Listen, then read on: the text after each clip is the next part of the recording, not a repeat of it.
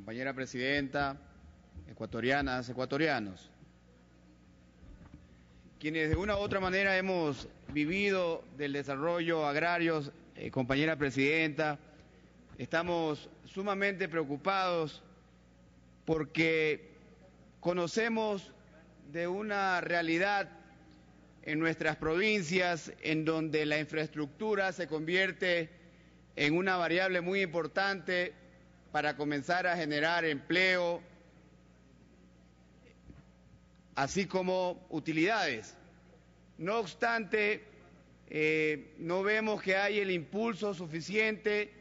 eh, en este proyecto de ley cuando eh, no se somete a ciertas exoneraciones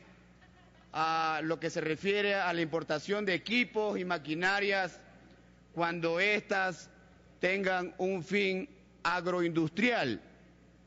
Por lo tanto, nosotros eh, hacemos una insistencia para que se incorpore dentro de este proyecto de ley que cuando se trate de la importación de equipos y maquinarias, siempre y cuando sean utilizadas para un fin agroindustrial, eh, haya la exoneración del impuesto a la salida de divisas. Realmente que en provincias, sobre todo en la costa, eh, no tenemos eh, todavía la posibilidad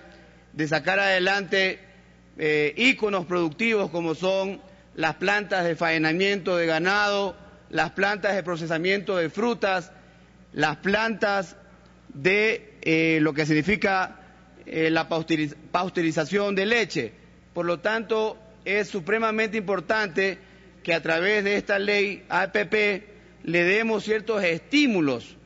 a quienes quieran invertir como factor o sector privado, dado que si no consideramos la incursión o la incorporación de este sector dentro de estos íconos productivos que acabo de mencionar, muy difícilmente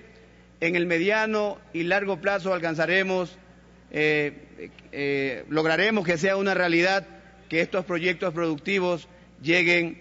a un feliz a una feliz cristalización como íconos productivos en la costa ecuatoriana. Muchas gracias por